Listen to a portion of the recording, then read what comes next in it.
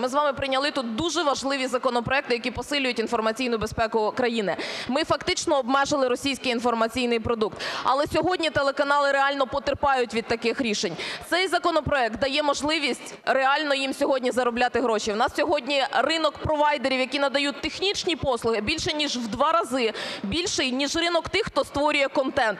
В такий спосіб ми підтримаємо українських журналістів, виробників контенту, виробників е, е, власне культурної е, сфери і, звичайно, українські телеканали, які в даному випадку будуть більш незалежні від своїх власників. І це серйозний вплив буде мати на утвердження свободи слова в Україні.